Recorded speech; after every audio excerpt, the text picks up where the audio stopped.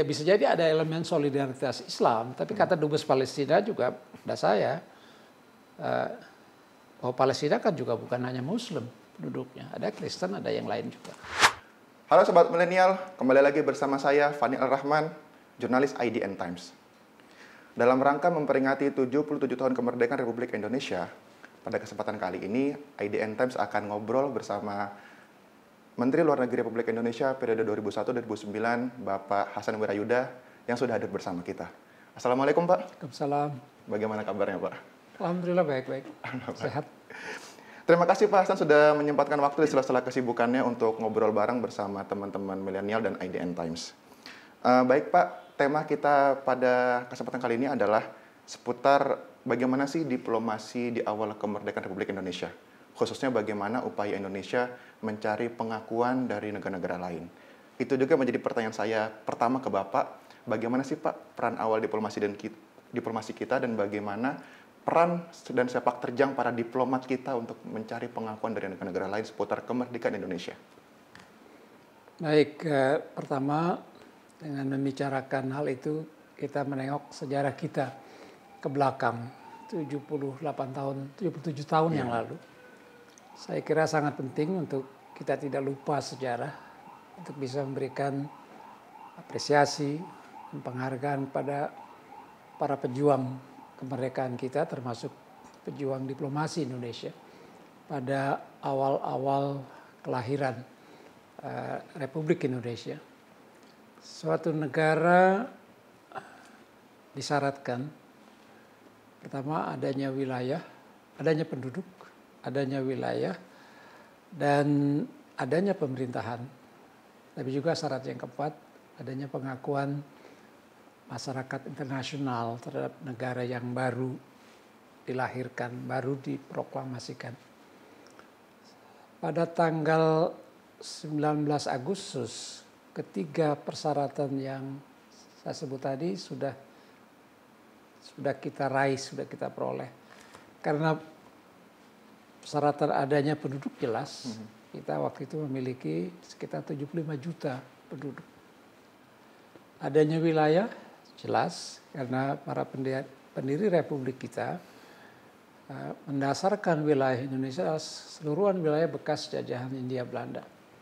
Yang ketiga adanya pemerintahan dan pada tanggal 19 Agustus itu telah dibentuk pemerintah baru, enggak memilih presiden dan wakil presiden, uh, tanggal 18-nya, tanggal 19-nya dibentuk kabinet, ada 19 kementerian. Jadi dari empat persyaratan berdirinya negara, tiga sudah kita penuhi, yang keempat itu merupakan satu perjuangan tersendiri. Perjuangan ke arah memperoleh pengakuan dari negara-negara lain terhadap eksistensi Republik Indonesia yang baru diproklamasikan, baru didirikan. Perjuangan ini tidak mudah. Pertama karena walaupun para pendiri republik kita dengan lantang mengklaim bahwa sesungguhnya kemerdekaan itu ialah hak segala bangsa.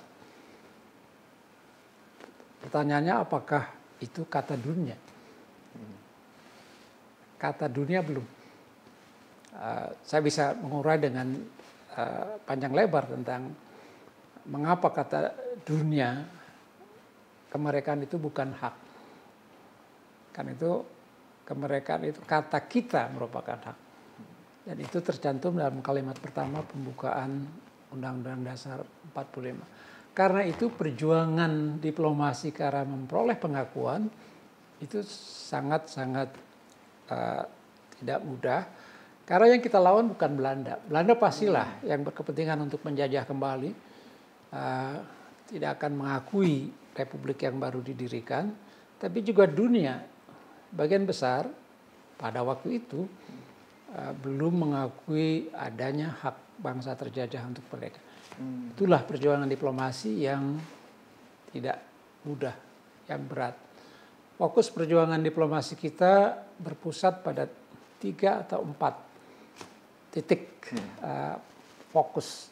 Yang pertama Singapura Singapura menjadi uh, pos diplomasi kita yang penting karena di situ uh, terorganisir dari perwakilan kita di Singapura, pembelian senjata dan kapal-kapal boat murah bekas uh, Jepang, senjata-senjata yang dirampas oleh sekutu oleh Inggris, kemudian diselundupkan ke wilayah Indonesia.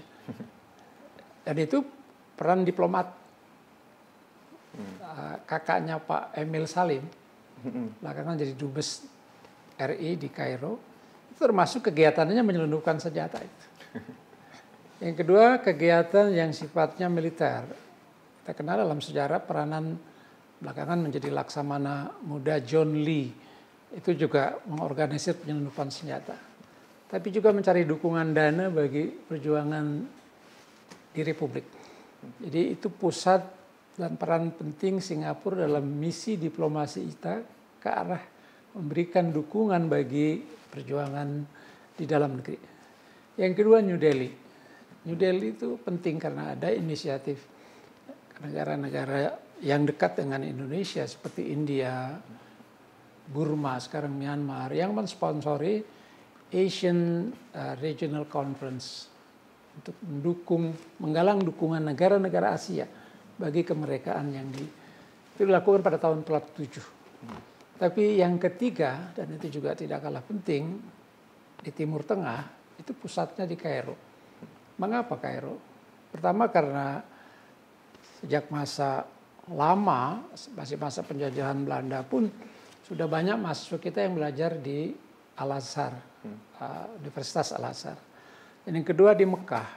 Dari Mekah di Mekah banyak pemukim Indonesia yang juga sebagai bagian dari uh, bangsa waktu masih dalam proses kelahiran bangsa Indonesia yang juga simpatik pendukung pada perjuangan kemerdekaan. Jadi melalui orang-orang kita lah di situ ketika Indonesia memproklamirkan kemerdekaannya, mereka juga bergerak untuk mencari dukungan di negara-negara mereka tinggal untuk meyakinkan negara-negara itu mendukung Indonesia. Di Mesir menjadi lebih penting karena bukan hanya Mesirnya sendiri, tapi dia adalah pusat dari uh, Liga Arab. Nah, hmm. Waktu itu sudah ada Liga Arab.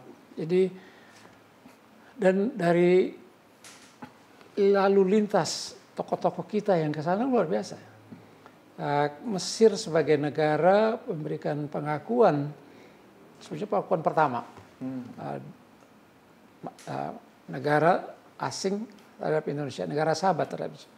Yaitu ketika pada hanya 8 bulan setelah pernyataan kemerdekaan, proklamasi, uh, Mesir resmi mendukung kemerdekaan Indonesia. Dan legasi Indonesia yang berkunjung ke sana, Menteri Kehakiman Suwandi, bertemu dengan uh, tokoh Liga Arab, uh, Sekjen Liga Arab, uh, Azam Pasha, Pasha kalau di Mesir gelar kehormatan. Uh, dan kemudian juga salah satu menteri, karena itu pada April uh, 46 pengakuan pertama Mesir, pertemuan Mesir sebagai negara pertama yang mengaku kemerdekaan Indonesia. Tidak kurang delegasi Pak Sahrir ke Mesir, delegasi uh, Menteri Luar Negeri, waktu masih Menteri Muda Luar Negeri, Wahid Hasim berkunjung. Oh Wahid Hasim saya ulangi. Uh, uh, Agus Salim. Kemudian Pak Hatta juga berkunjung ke sana. Jadi hiruk pikuk upaya penggalangan kita itu dilakukan pada tingkat tertinggi, tingkat tinggi untuk berkunjung ke Kairo karena dia juga menjadi pusat atau sekretariat dari Liga Arab dan dari situ eh, berkunjung ke misalnya Pak Agus Salim dari Kairo kunjung ke Syria hmm. juga rencananya ke Saudi dan ke Yemen walaupun terhalang. Kalau boleh disebut pusat kegiatan lain sejak tahun 47 adalah uh, di PBB New York. Mengapa? Karena sejak agresi militer Belanda yang pertama pada tahun 47 masalah Indonesia dibawa ke sidang Dewan Keamanan. Hmm. Karena itu tokoh-tokoh kita seperti uh, Pak Sahrir tidak lagi sebagai perdana menteri sudah diganti, tapi masih sebagai utusan khusus. Kemudian Pak Agus Salim, Pak Sumitro Kusumo, Pak Sudarpo, bolak-balik ke New York. untuk menghadiri sidang Dewan Keamanan. Dan menarik tambahan peran Mesir adalah ketika kita menghadapi blokade militer Belanda, pemerintahan Republik sudah berpindah dari Jakarta ke Yogyakarta, Mesir mengutus uh, konsulat, maksud saya konsul jenderal Mesir di Mumbai hmm. dan menyewa pesawat untuk merobos blokade Belanda membawa bantuan hmm. uh, pangan uh, ke Yogyakarta. Hmm. Tetapi pesawat itu yang kembalinya akan kosong justru dimanfaatkan oleh para pejuang kita untuk mereka menggunakan pesawat itu masuk Pasahir dan lainnya yang akan menuju New York, tapi kan kita sedang dalam blokade. Yeah. Kita nggak tahu mau pakai apa. Kita. Hmm. Menggunakan pesawat yang dicharter, disewa oleh Mesir dari Mumbai ke Jakarta, pulangnya hmm. mengangkut sebagian toko kita ada yang turun dari Singapura, dari situ ada ke London terus New York. Tapi uh, ini luar biasa. Kalau kita lihat sejarah proses pengakuan dan tercatat bahwa uh, Mesir, Liga Arab memberikan uh, pengakuan yang pertama baik ke mereka. Dan ini penting. Memang tidak disyaratkan berapa negara hmm. dari anggota PBB pada waktu itu untuk bisa dikatakan kita telah memenuhi. Tapi bahwa ada sejumlah negara dan organisasi yang anggotanya cukup banyak Liga Arab memberikan pengakuan. Jadi modal awal kita dalam perjuangan uh, kalau ke arah memperoleh pengakuan masyarakat terhadap kemerdekaan. Jadi itu eh, pentingnya di samping langkah konkret berupa bantuan pangan dan sebagainya. Yang kedua untuk wilayah Asia New Delhi karena perdana menteri Nehru memimpin uh, proses uh, menggalang dukungan negara-negara Asia uh, untuk mendukung perjuangan mendukung pengakuan uh, kemerdekaan Indonesia. Itu tadi menarik Pak. Jadi ketika Bapak menyinggung soal bagaimana perjuangan Pak Agus Salim, Sultan Syahrir dan kawan-kawan di PBB itu sempat viral di sosial media kita Pak. Hmm. Potret yang potret lawasnya itu Pak ya, itu viral dan dikagumi banyak generasi milenial dan generasi muda. Bagus. itu jadi mungkin jadi pelajaran sejarah juga lewat oh, sosial iya. media itu Pak. Saya aja masih bolak-balik lihat itu. karena tadi, memang perjuangannya tidak mudah. Hmm.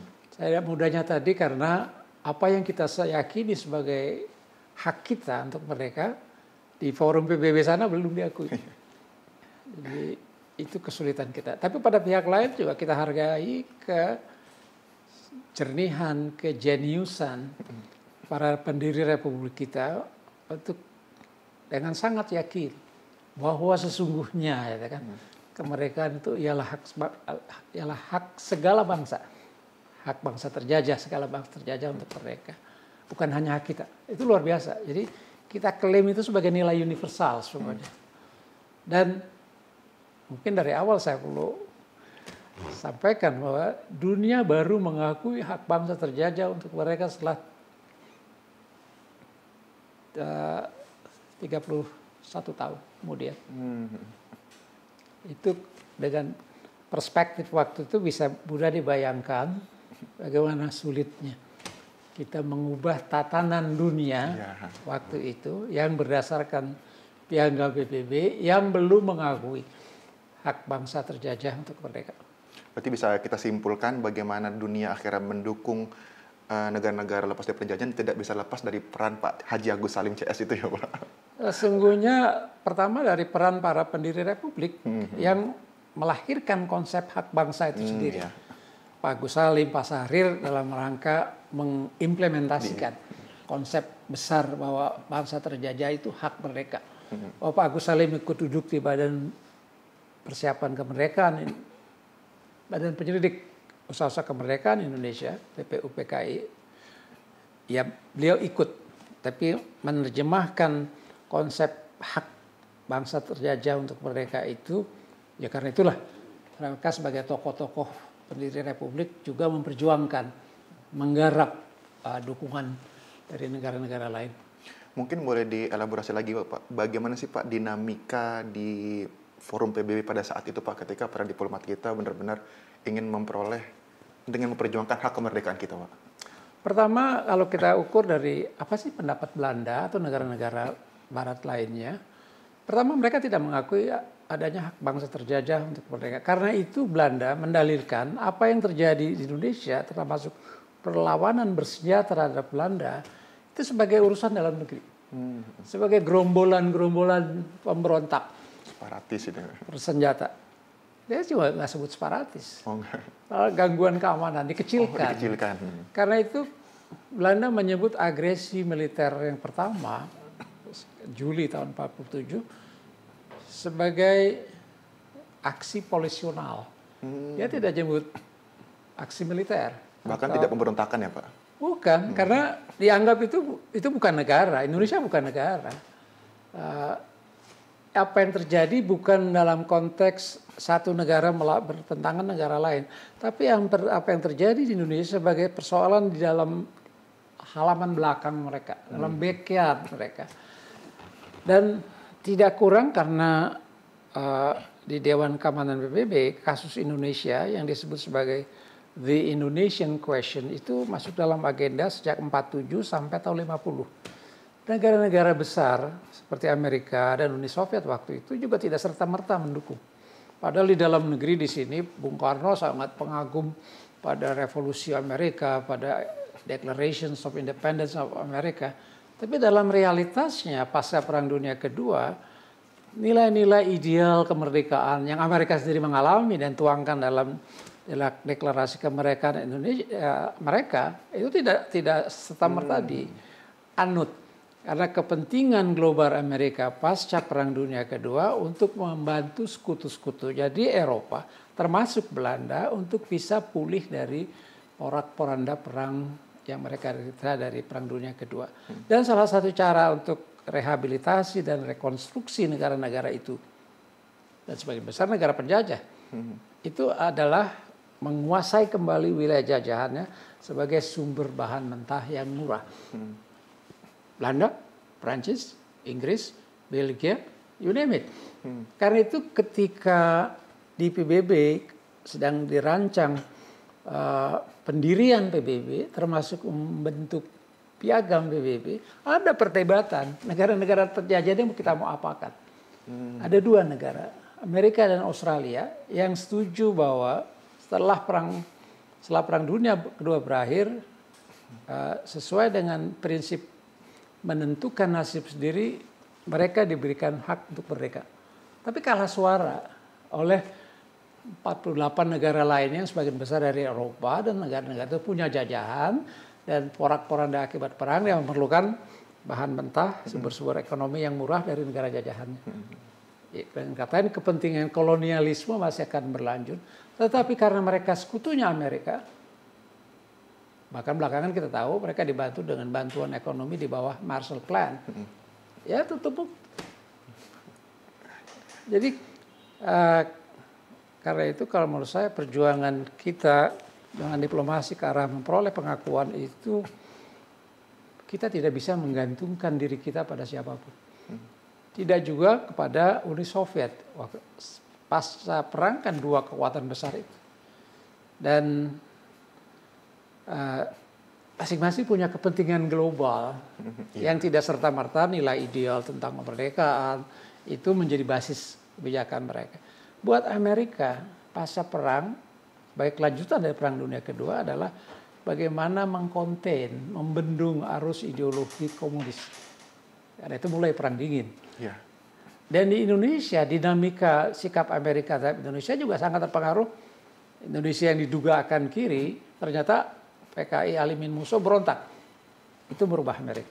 Sikap hmm. Amerika untuk lebih simpatik pada Indonesia. Sebaliknya karena yang memberontak itu PKI Alimin Musa ditumpas oleh TNI, pihak Uni Sovietnya yang tidak menjadi tidak mendukung kita.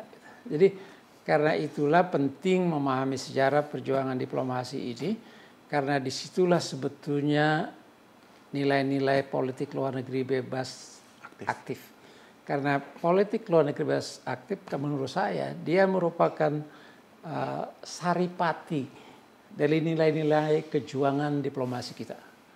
Uh, yaitu bahwa even untuk survival, untuk keberlangsungan negara muda yang baru dilahirkan tidak kita tidak bisa menggantungkan kepada siapa-siapa. Kita menggantungkan pada kekuatan sendiri. Dengan kata lain, kemandirian. Tadi saya menyoroti ketika Bapak uh, mengatakan Mesir adalah negara pertama yang mengakui kemerdekaan Indonesia. Apakah memang ada Pak, misalnya modal Indonesia sebagai negara Muslim mayoritas, sehingga itu menjadi modal penting ketika Indonesia berdiplomasi dengan Mesir, dan kemudian ada snowball effect dari Mesir sehingga pada akhirnya banyak negara-negara Arab lain mendukung kemerdekaan Indonesia. Saya katakan tadi kalau di Timur Tengah warga Indonesia yang sedang bermukim di sana. Mekah salah satunya banyak tokoh-tokoh kita yang yang bermukim di Mekah. Yang kedua bermukim di Kairo karena memang ada Universitas Al Azhar. Karena itu uh, mereka juga ikut bergerak. Di Mesir misalnya ada partai uh, Wafat Party WAFD Partai Islam ya yang keras membantu karena lobbynya para tokoh mahasiswa kita itu hmm. melalui jalur ini Wafat Party belakangan pada masa Sadat dibubarkan partai itu tapi tokoh ya, partai yang berpengaruh dan karena itu ketua uh, partainya Abdurrahman Pasha itu yang menerima delegasi kita bersama uh, uh, Sekjen Liga Arab dan di situ disepakati untuk mereka bersama-sama memberikan pengakuan berjuang mendukung Indonesia. Nah kemudian Pak, tadi kan kita sudah berbicara tentang modalnya, modal ya. berharganya ketika misalnya masyarakat Muslim yang di luar negeri ikut membantu bagaimana mencari pengakuan. Nah, tapi kita belum bicara tantangan nih Pak. Apa tantangannya ketika kita berusaha mencari pengakuan dari negara-negara Arab dan Islam itu Pak? Sebenarnya tantangannya tidak begitu besar. Karena bagaimanapun ada solidaritas hmm. keagamaan. Ya. Yang kedua, yang melobi mereka juga kan para warga kita di sana. Hmm. Tokoh-tokoh mahasiswa, tokoh-tokoh Islam kita. Jadi uh, saya tidak melihat ada tantangan yang besar di situ. Tantangan yang tidak mudah memang komunikasi. Hmm. Saya jangan dibayangkan sekarang. Tadi bagaimana para tokoh kita dari Pak Hatta, Sahrir, Agus Salim, Menteri eh, Kehakiman Swandi bisa sampai ke sana. Itu kan perlu modal. Modal keuangan kita baru mereka masih oh, morat marit. Uh, karena itu numpang-numpang tadi. Hmm. Kebetulan ada pesawat Mesir, di charter Mesir dari Mumbai ke Jakarta, pulang lewat Singapura, mereka ikut Singapura dari situ berupaya memperoleh adik terbang ke London terus ke New York. Tapi dalam sejarah kita, untuk kita ketahui juga bahwa tidak mudah. Mereka singgah di London, menggalang dukungan dana. Dari perwakilan-perwakilan negara asing di situ seperti India, itu kita mencari dukungan dana untuk legasi kita bisa mengajukan terbang ke uh, New York. Jadi dengan kata lain, di situ semangat kejuangannya. Mm-hmm. Diplomasi kita sekarang dukungan dana sudah ada sekian triliun. Lebih mudah dibandingkan pada masa itu yang bukan hanya niat baik, semangat kejuangan tapi juga dukungan dana yang tidak mudah. Morat marit lah kita kata-kata. Jadi itu yang semangat itu yang harus kita terus pelihara. Apakah ada Pak pengaruh ketika kita sudah mendapatkan dukungan dari negara-negara Arab sehingga negara-negara non Arab mungkin di Eropa atau Amerika pada akhirnya mulai mempertimbangkan kedudukan Indonesia atau kemerdekaan Indonesia, Pak. Uh, negara-negara saya katakan tadi di luar negara Arab adalah proses yang paralel katakanlah. Yeah. Oh, sedikit oh, yeah. sedikit belakangan karena baru tahun 47 India mempelopori konferensi Asia negara-negara Asia bagi dukungan kemerdekaan Indonesia. Eh, dengan begitu juga pada tingkatan Asia sudah mulai menguat. Kemudian Timur Tengah tadi, Mesir, Syria, Liga Arab. Di Barat kesulitannya adalah karena mereka uh, sepaham dengan uh, bahwa negara jajahan tidak punya hak untuk mereka. Jadi ada solidaritas antara mereka. Dan karena itu ya Belanda menikmati dukungan negara. Wah, jangan bayangkan sekarang yang namanya PBB waktu itu kan dominasi Barat. Negara yang berkembang yang atau yang baru merdeka di Asia Afrika masih sangat sedikit. Yang sudah menjadi anggota PBB India, kemudian Syria, uh, Mesir, tapi yang lain belum. Karena itu suara yang dominan di Perserikatan Bangsa-Bangsa suara Barat. Hmm. Dan Barat itu solider pada Belanda karena memang mereka sama-sama tidak mengakui hak bangsa terjajah untuk mereka. Jadi berubahnya Barat itu ketika kita berhasil menyepakat uh, melalui perundingan uh, konferensi meja bundar menghasilkan uh, disebut dalam bahasa Inggris Hague's Agreements perjanjian Den Haag di mana Belanda di, di dalam tesis mereka itu serah terimakan kedaulatan. Dalam mata kita pengakuan kemerdekaan kita oleh Belanda. Dan dengan begitu baru jangan lupa itu Desember tahun 49 pada September tahun 50 jadi kurang dari setahun kita diterima menjadi anggota PBB jadi dengan begitu dapat dikatakan seluruh anggota PBB atau PBB menerima uh, kemerdekaan kita. Uh, jadi karena itu memerlukan waktu agak lama. Ya. Uh, karena yang kita lawan bukan hanya Belanda, tetapi sistem hukum dan politik dunia internasional yang tidak mengakui hak bangsa terjajah untuk mereka. Di sini pentingnya kita memahami proklamasi dan pembukaan Undang-Undang 45 pesan saya, pahamkah kita akan uh, kandungan dua kalimat sederhana itu uh, yang sangat syarat makna. Gitu. Jadi yang baca sih gampang. Walaupun generasi sekarang saya coba tes berapa kali, coba sampai masih ingat naskah proklamasi, udah nggak ada yang ingat. Saya tanya dalam ceramah, ayo siapa yang berani naik ke panggung. Sudah di panggung dia buka dia Google baru dia baca. Eh saya bilang saya tidak minta Anda baca, tapi apa yang Anda ingat tentang naskah sejarah. Karena itu penting kalau IDN menampilkan sejarah ini kembali untuk kita sama-sama menggali. Saya tidak berpretensi saya yang paling tahu, tapi untuk semua kita tahu. Terkait kemerdekaan juga Pak, banyak kalangan, banyak politisi juga yang menggunakan istilah Palestina adalah entitas termasuk entitas awal yang mengakui kemerdekaan Indonesia. Saya ingin klarifikasi dulu Pak, apakah itu benar Pak? Uh, saya penggemar sejarah, saya bukan ahli sejarah, tapi saya student of history. Jadi saya baca banyak buku, termasuk saya anggap penting sejarah Indonesia 4550 ini. Uh, kalau ibarat anak manusia, masa lima tahun pertama kehidupan anak manusia disebut dalam istilah psikologi formative years, pembentukan watak. Karena itu memahami watak Indonesia, termasuk watak bebas dan aktif kita harus tahu sejarah ini. Hmm. Untuk tidak mudah tergoda untuk, ah oh, ini kan sudah nggak relevan lagi bebas aktif sekarang ini. Hmm. Kan non blok sudah habis, sudah hapus. Jadi disamakan bebas aktif dengan non blok tidak begitu. Sejarah 4550 itulah yang sesungguhnya mendefinisikan apa yang disebut bebas aktif. Yang dengan sangat tepat disaripatikan oleh Bung Hatta pada tahun 48. Hmm. Jadi saya nggak penting. Tapi dari pengetahuan saya tentang sejarah 4550 ini, saya tidak mendapatkan referensi uh, tentang Palestina termasuk yang mendukung pertama mereka Indonesia. Oh Palestina saja belum mereka iya. sampai sekarang gitu. Jadi uh, tapi bahwa kita mendukung Palestina atau tidak uh, bukan karena soal Palestina memberikan dukungan dulu. Saya uraikan tadi pusat diplomasi kita di Timur Tengah adalah Kairo.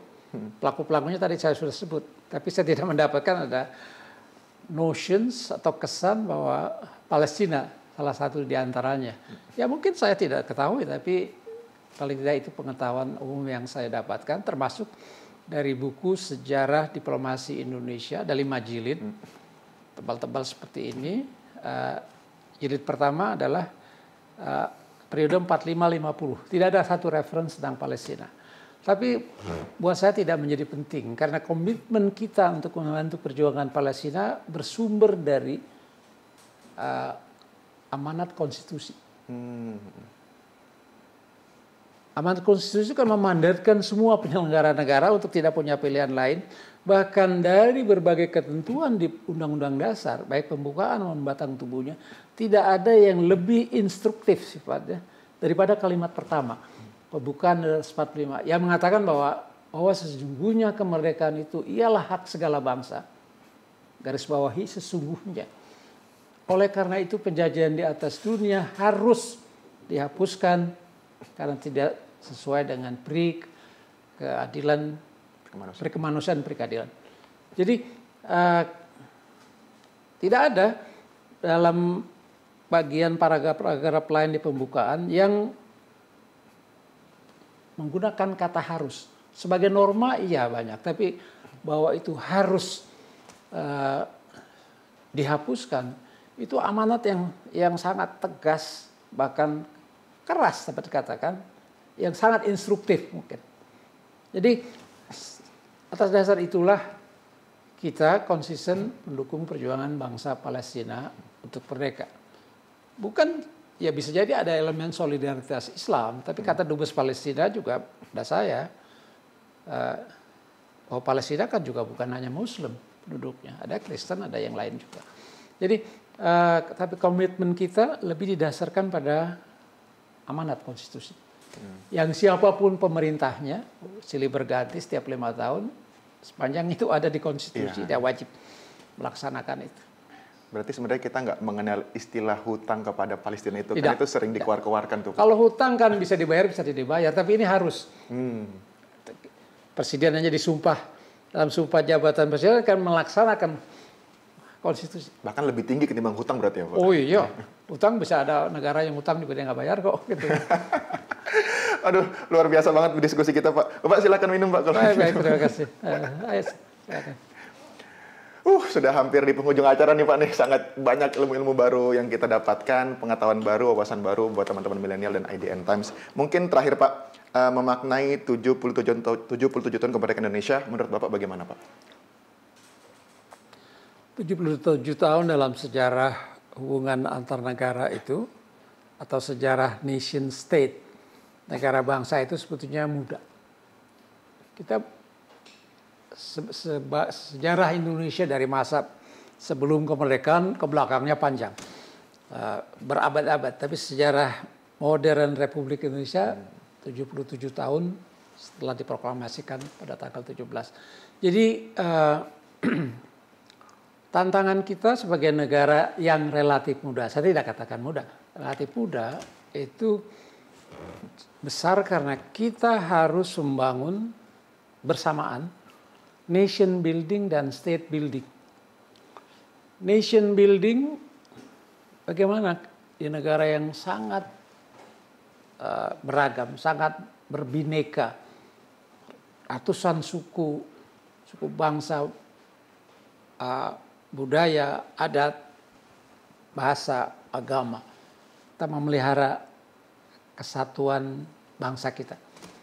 Uh, state building berkaitan dengan bagaimana terus-menerus membangun state sebagai institusi untuk lebih mampu mem laksanakan tujuan-tujuan pendirian republik ini. Tujuan republik ini kan ada lima yang dimuat dalam konstitusi. Pertama melindungi segenap bangsa Indonesia. Yang kedua seluruh tumpah darah Indonesia. Ketiga memajukan kesejahteraan umum. Empat mencerdaskan kehidupan bangsa. Dan yang kelima ini berkaitan dengan misi luar negeri juga. Yaitu ikut serta melaksanakan ketertiban dunia yang berdasarkan atas kemerdekaan, independence, perdamaian abadi, dan keadilan sosial. Itu, uh, capaian yang luar biasa yang tidak mudah dicapai. Apa sekarang tertiban dunia yang diamanatkan untuk dicapai itu berdasarkan tiga hal tadi sudah sudah ada belum? Kemerdekaan, apa sudah semua negara merdeka, di dunia merdeka? Lihat aja Palestina. Masih, karena itu obsesi kita bagaimana Palestina bisa merdeka. Yang kedua, uh, perdamaian abadi, apa sudah ada? Lihat aja perang di Syria.